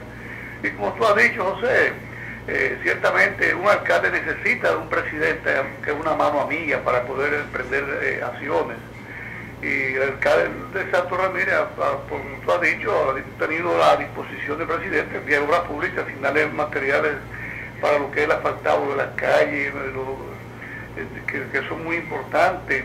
Y, por ejemplo, la gente en algunos sectores, como Santa Rosa, eh, Santa, eh, Santa Elena, que ya tienen agua en sus hogares pues, a través de las conexiones que se han hecho, no se han podido pavimentar todas esas cosas y otros sectores porque se, todavía están en prueba muchos de, esas- de esos sectores para lo que es afrontar las zanjas que se han abierto. Y también el aporte de los camiones que le ha dado el gobierno al ayuntamiento para eficientizar lo que es la recogida de basura. Los desechos, por ejemplo, a cielo abierto, que había improvisado, ¿no? Han disminuido, pero la gente no deja de tirar su fundita porque también es una actitud ciudadana. La gente tiene que, tenemos que contribuir a lo que la higiene de la ciudad, porque la ciudad no es- somos todos nosotros, son su gente. Pero hay gente desaprensiva que no quiere tener una, casa, una funda de basura en su casa para esperar otro día que venga el camión, sino que ya desde la tarde, el día anterior, aquí yo no yo vivo, en Residencia Riviera del Sur, que viene el lunes, martes, jueves y sábado. Ya, por ejemplo, hoy es que miércoles, ¿verdad? Vienen mañana, ya todavía hoy que no vienen, hay gente que ha tirado la basura en la calle, o sea, aquí así, gente así. Una actitud irresponsable. Así. Entonces la gente tenemos que contribuir porque la ciudad es a nosotros que debe dolernos, no es a las autoridades. Entonces yo creo que hay que esperar las cosas y creo que lo que dijo esta la joven eh, Stephanie con relación a las visitas que hizo, es verdad, yo vi eso Stephanie, cuando estaba por allá por, por Neiva, por ahí, había un que decían, iban a ir para cuándo. Está bien, gracias. Bien. No, por eso yo Gracias digo, al Stephanie, periodista Fausto Soto. Sí, por por eso yo digo que el ayuntamiento tiene que poner mano dura, mano dura en este sentido y que haya consecuencias para los ciudadanos que ensucian, que tiran desperdicio a las calles. Tú sabes qué cosa más desagradable y más fea cuando uno va detrás de un vehículo y aparecen unos desaprensivos que sueltan una bolsa de basura, sueltan un plato de, de, de, de- de picapollo con, con, los, con los restos que se estaban comiendo. Terrible. Entonces debe haber una, una especie como de, de patrullaje, de vigilancia para, para crear, crear eh, un mecanismo de que el que hace este tipo de acciones eh, sea sometido, pague con una multa, lo que sea. Claro. Eh, que se sepa que en Baní el que tira basura a las calles hay un régimen de consecuencias. Pues Chacho lo logró en su primera gestión de sus primeros cuatro años, en los primeros dos años de gestión de Chacho Landestoy, él logró que todos los guagüeros del sur eh, difundieran la noticia por todo el país de que en Baní no se podía tirar basura, porque el que la tiraba caía preso. Y ellos decidieron poner incluso en sus guaguas zafacones y bolsas para que sus pasajeros echaran ahí los desperdicios. Que eso se ha ido perdiendo. Se descuidó yo- por completo yo- eso al no, final. ya eso no se está viendo. Al final, o sea, al final, las últimas ocho años de, Chacho, diez años, eso fue olvidado y, y- vino, vino la debacle, vino el desastre total en el tema de la, de la, de la basura y la gente tirando. Mira, da gusto, Stephanie, uno ir aquí a los campos de Baní, a los campos. Tú te vas al Llano, a Sombrero, a Paya, a Villa Fundación, a Sabanabuey, a Cañafito, cualquiera de nuestros campos tú te vas, donde todavía está el vanilejo auténtico, el vanilejo vanilejo. Y tú encuentras esas calles, esos pobladitos hermosos, limpios, delicados, porque tal como tú señalabas, desde que esas mujeres se levantan, es Con la en las mano. manos. Ve, y el ciudadano allí es, es respetuoso, es decente, no tira desperdicio a, a- a la calle. Entonces los ayuntamientos, pequeños ayuntamientos de estas comunidades reciben el apoyo de sus comunitarios. Así es. Tú vas a Sabanabuey, eso es un sueño. La alcaldía de Doña Rosa es un sueño en Sabanabuey. Tú entras a esa comunidad y eso es uno de los pobladitos más hermosos que tenemos aquí. Pero tú vas a Salinas y te encuentras con lo mismo.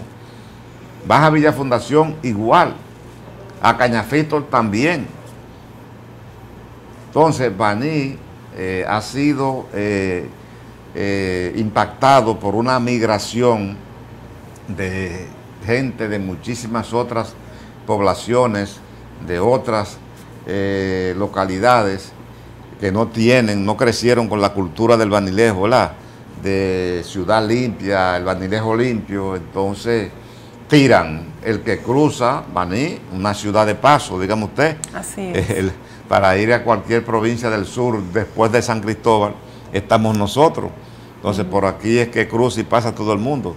Y en esa parte es que yo creo que el ayuntamiento, la alcaldía municipal, junto con su cuerpo de regidores, deben crear algún tipo de mecanismo, resolución, eh, en coordinación con eh, la policía, en coordinación con salud pública, en coordinación con la ANET y con otras instituciones más, para ponerle freno a la gente que tira, que cruza y que tira basura aquí en Bani.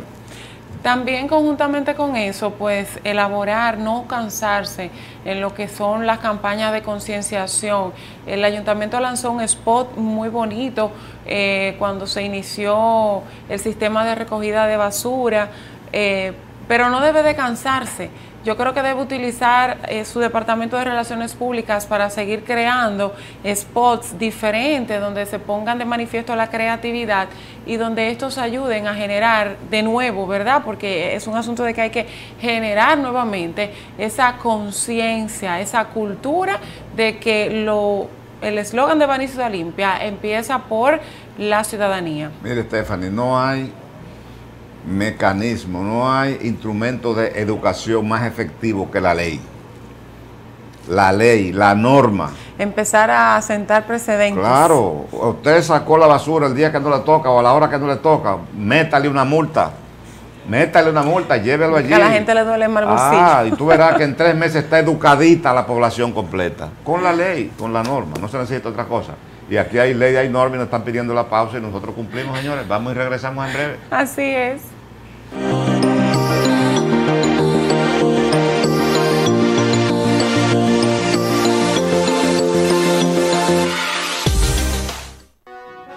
Con objetividad y claridad, buscamos la información para que tú estés bien informado. Noticiario fin de semana en sus emisiones 12 del mediodía, primera emisión, 6 de la noche, segunda emisión y en horario repetido a las 10 de la noche por el canal 3 de Visión 3000.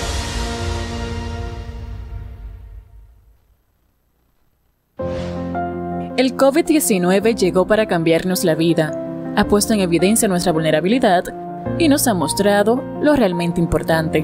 Valores primordiales por los que debemos luchar, pero sobre todo cuidarnos. La familia es uno de esos valores que debemos priorizar. Pero ¿y la vida misma? ¿Acaso carece de valor? El COVID vino para recordarlo, pero sigue aquí, no se ha marchado. Y ahora con nuevas mutaciones que siguen atentando contra la existencia de nosotros mismos y de aquellos que representan nuestro mayor regalo. Volvamos a las medidas. Retome el uso de la mascarilla. Evita las aglomeraciones. Y no olvides la higienización como eje fundamental. Cuídate y cuida a los tuyos. Por favor, tomemos conciencia. Si aún no lo has hecho, estás a tiempo todavía. Vacúnate. Este es un mensaje del grupo de comunicaciones Ortiz Ruiz. Vea todos los miércoles a las 9 de la noche su programa Tiempo de Cambio por el canal 8 de Peravia Visión y por el canal 10 de Intercable. También a través de la página web peraviavision.tv. Una producción del periodista Juan Martínez. Le esperamos.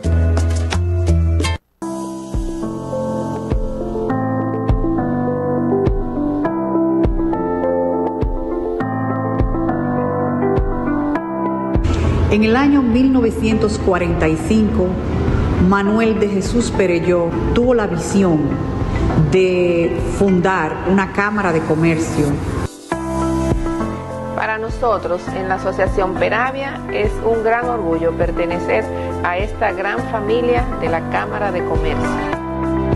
Los comerciantes detallistas somos una gran familia y caminamos de la mano de nuestra Cámara de Comercio para seguir creciendo. y que tiene por misión formalizar, representar y capacitar a sus miembros, te invito a que forme parte como socio para que juntos logremos el desarrollo de nuestra provincia. Ser miembro de la Cámara de Comercio de la provincia de Peravia nos genera grandes beneficios. Los miembros de la Asociación de Productores de Mango debemos de inscribirnos en esa gran institución que es la Cámara de Comercio y Producción de la provincia de Peravia. La provincia de Peravia es una gran familia. Por eso invitamos a los empresarios, comerciantes, productores y emprendedores para que sean parte de esta Cámara de Comercio, porque unidos sí podemos.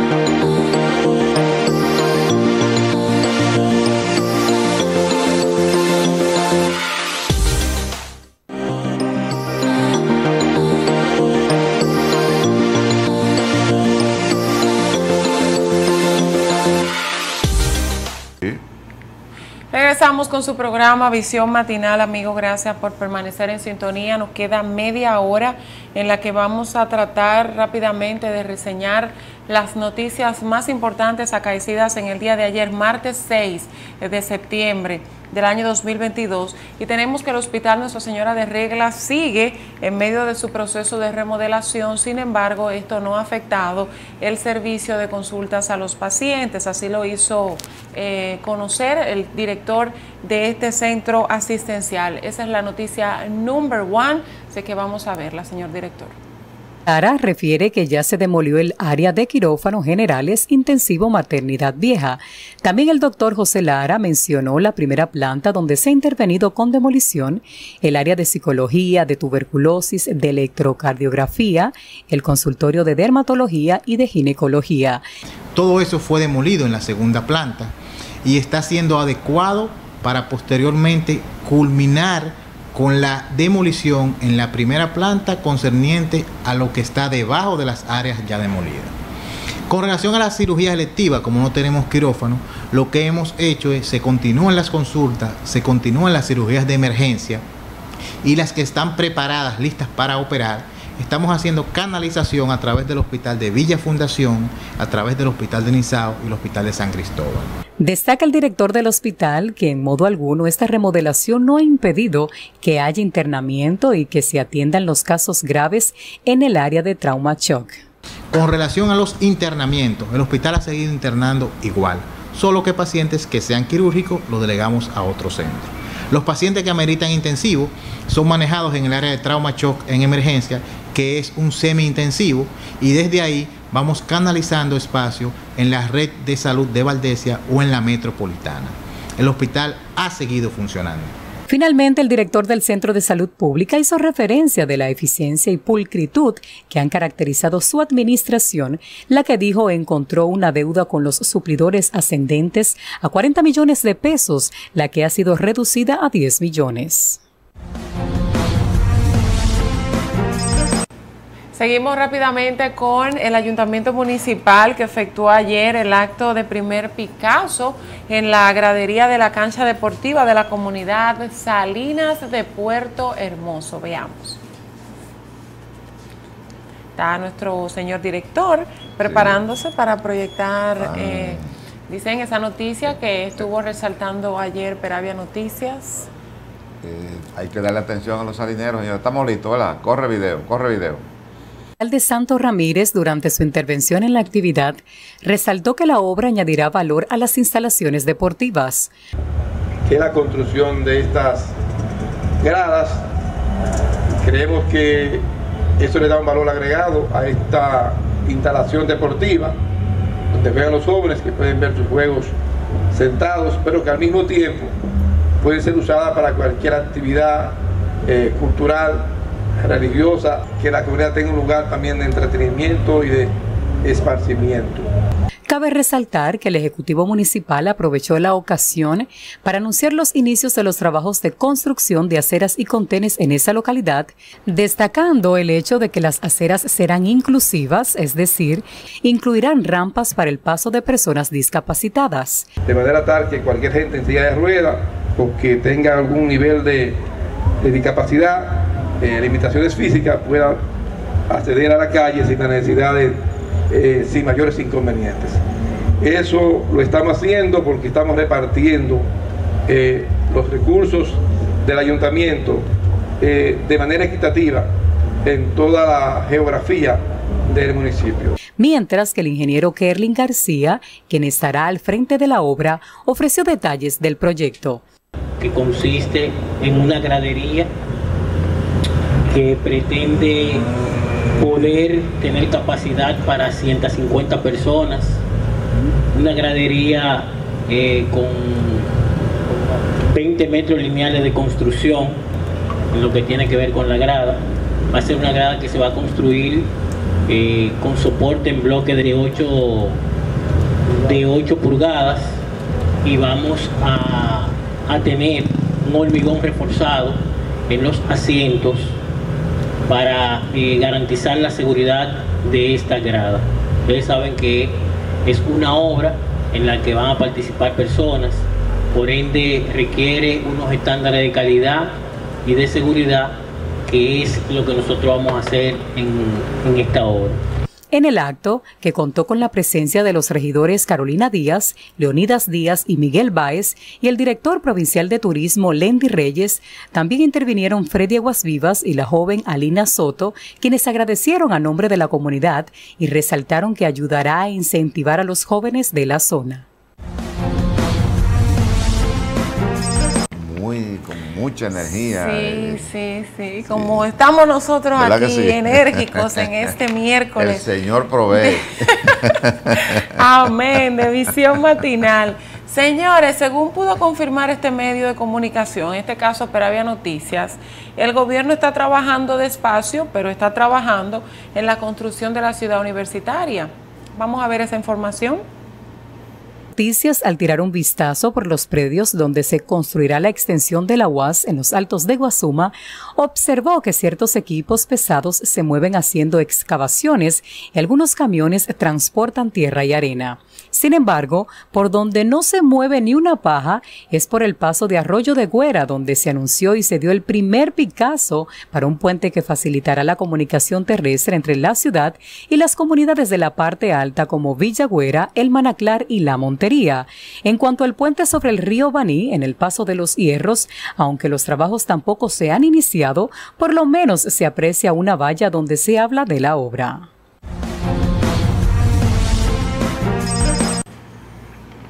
Bien, señores, seguimos aquí con doña Stephanie Martínez, Ay, Dios mío. la dama exquisita de la televisión vanileja. Eh, ella no le gusta que yo lo diga, pero ¿Y qué vamos a hacer con Dicen, señores? en mis comentarios digo lo que, ¿verdad? lo que está a la vista. O sea, Ay, Padre amado. Mira, eh, la número cuatro, jóvenes. Vamos a ver los familiares de un joven herido eh, de bala eh, que posteriormente falleció el pasado 21 de agosto en la zona de Galeón. La familia pide justicia.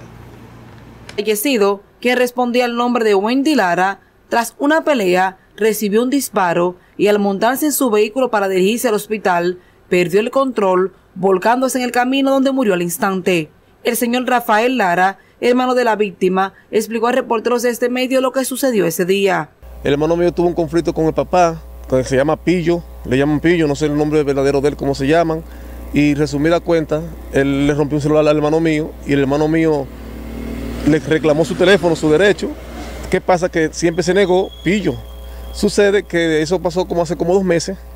Entonces el domingo 21 tuvieron un conflicto que se fueron a la trompada, ajá, el papá y, y el hermano mío. ¿Qué pasa? Que pasó, simplemente pasó. Sucede que pocos tiempos después, como 20 minutos, bajaron los hijos, como dieron el mandado de la angostura, porque son de la angostura, bajaron artillado con una artillería como de 6 o 7 personas. El papá lo vio a ellos y le dijo, eh, no, no, déjenlo así, tranquilo, déjenlo así, a mí no me pasó nada. Y fueron co- como que era buscándolo, buscándome a mí también, por mi casa, por atrás de la casa, hasta que dieron con él, con el hermano mío. Cuando llegaron al, lugar del hecho, el hermano mío se quiso defender de vac- vacío, sin ningún tipo de arma. Cogió una silla para, para promediar. ¿Qué va a hacer? ¿Qué va a hacer? Espérate, ¿qué va a hacer? Espérate. ¡Pau! Le dieron un tiro en la pierna.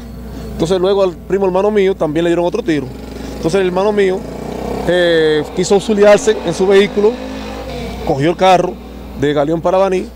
Cuando fue en el medio de, como tres kilómetros los puentes, como que se desmayó de, la herida y se volcó y se mató. Sobre el supuesto autor del hecho, quien es identificado como Teo Di Soto, alias Peñita, junto a su padre, el nombrado Pillo, se encuentran prófugos de la justicia. Siguen prófugos el papá y tres hermanos, que hasta son prófugos de verdad porque no tienen cédula. El papá fue el, principal sospechoso, o sea, el, iniciador. Y los dos hijos, los tres hijos, ninguno tiene cédula, para, que- para, que, son, para, que vean que son más, más que una rata, porque no, son nadie en la sociedad. Bueno, realmente están trabajando, le estamos dando su tiempo, que tengan como que eso es un proceso, pero lo que queremos es justicia. Nosotros no nos vamos a echar la mano porque no somos criminales. Se lo dejamos a Dios, la bendición de Dios, simplemente. El señor Freddy Lara, tío de la víctima mortal, sobre este caso manifestó. y un muchacho prometedor, trabajador, inteligente, profesional. Lo mataron sin ningún motivo, sino privando en no sé qué. No aparece ninguno, no se ha entregado ninguno. Nosotros, no queremos, nosotros queremos que se entreguen, porque no queremos hacer violencia con las manos, ¿verdad? Y lo que le pedimos es eso, que se entreguen, por favor, para evitar otras cosas más. Bien, eh, hay un tema, Martínez, que los vanidejos no podemos soltarlo porque es, un tema que tiene mucho que ver con el crecimiento económico, con el empleo de mano de obra eh, de importancia en, esta población y es el tema de la zona franca Vanileja. Y Peravia Noticia ayer le dedicó un espacio a este tema. Eh, jóvenes, esa es la número... ¿Dónde está? Martínez. eh, Vamos, ya la tiene lista el señor director. Tiene ok, nos fuimos. Está en eso, Alexander. Pesa en los largos años del gobierno del PLD y lo único que se logró que el parque industrial fuera hipotecado hasta perderse en manos de un banco.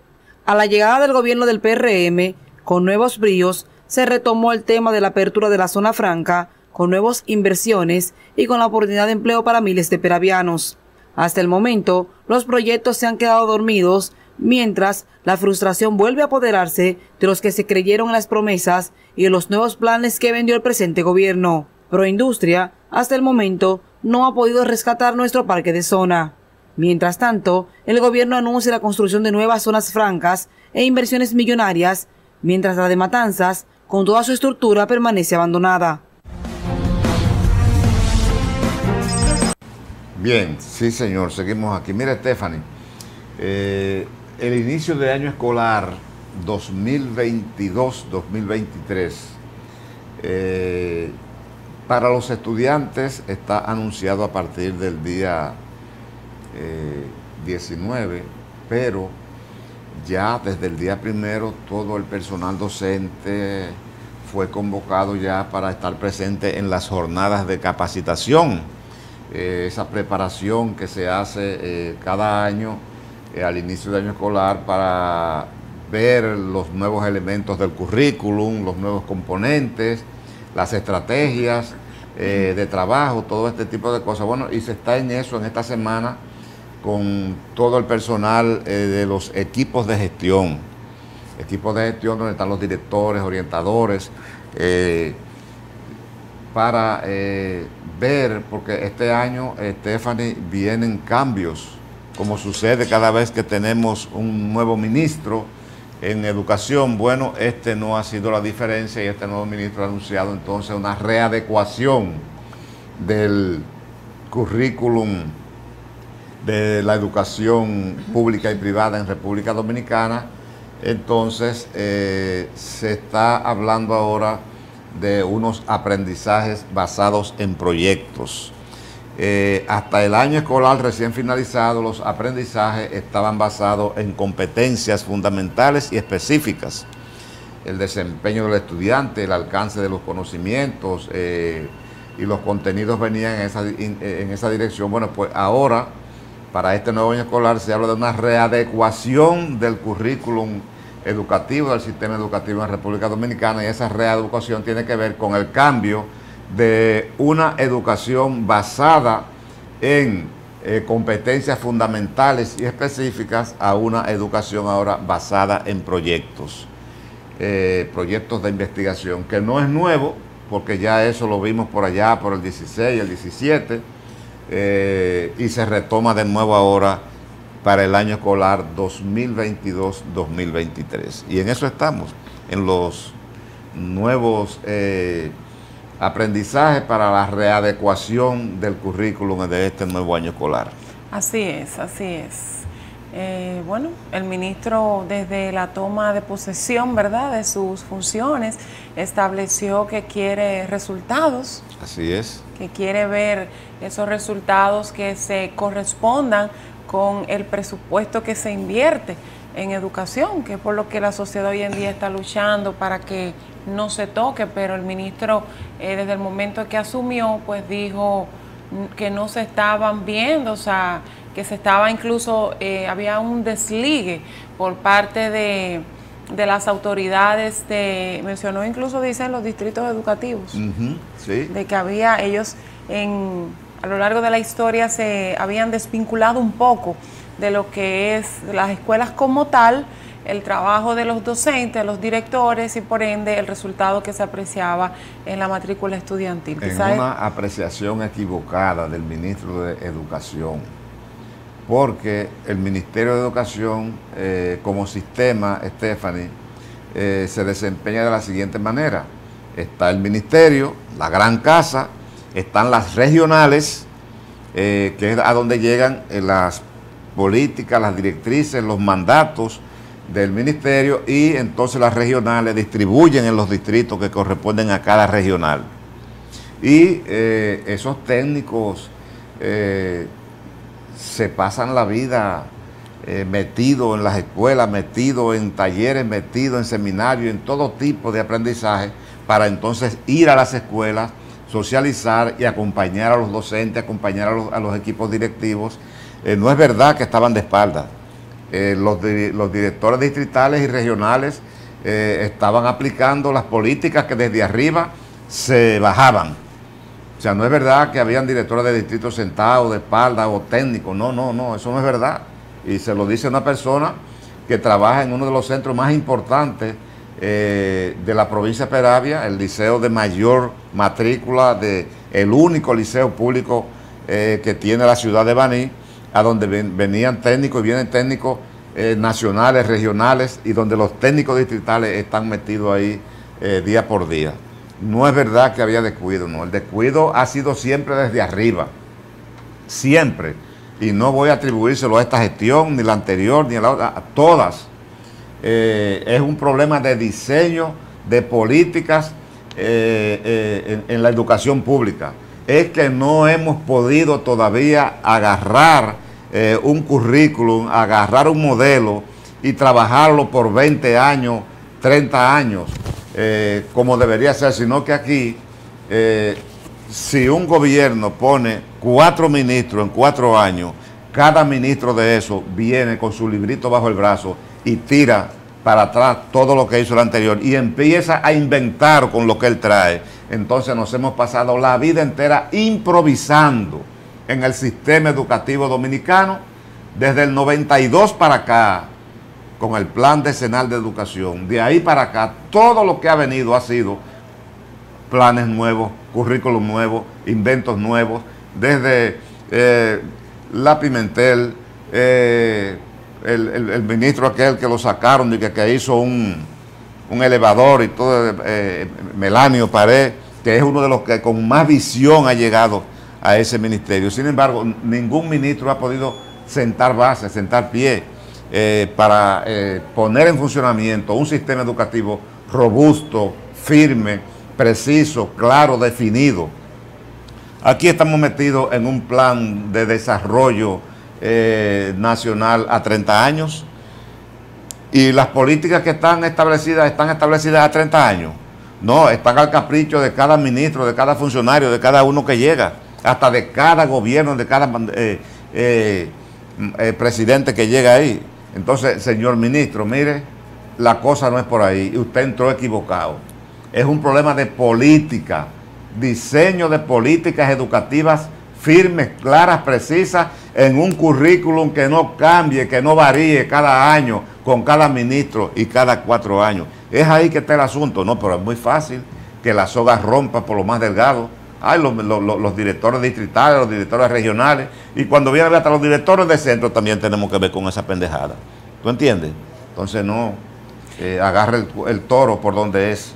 Y con este comentario firme y aguerrido de una voz experimentada, no solamente en materia comunicacional, sino que es una voz facultada para emitirlo porque es el director de uno de los centros escolares de educación media más importantes de la provincia Peravia, el Liceo Francisco Gregorio Villini. Nosotros, amigos televidentes, nos despedimos por esta ocasión, extendiéndole la invitación a que sintonice mañana nueva vez esta tribuna democrática de la provincia Peravia, Visión Matinal. De este lado, Stephanie Martínez estuvo con ustedes. José dice, buenos días, hasta mañana.